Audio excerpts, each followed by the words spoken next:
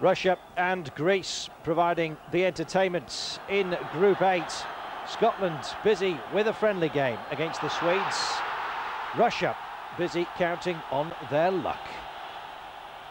Well, an own goal by Alexandris in the 34th minute.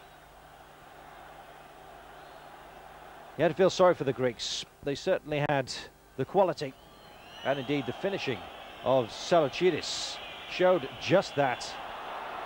Very cool. The Muscovite crowd busy whistling. Well, it was another piece of luck for the Russians. Their second goal. Just savour this, though. The Greeks.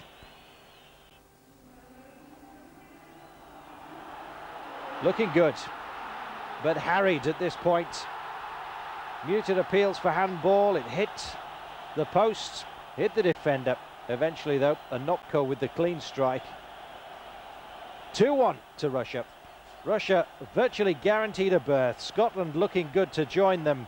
The Scots this evening going down in Sweden 2-0 in a friendly.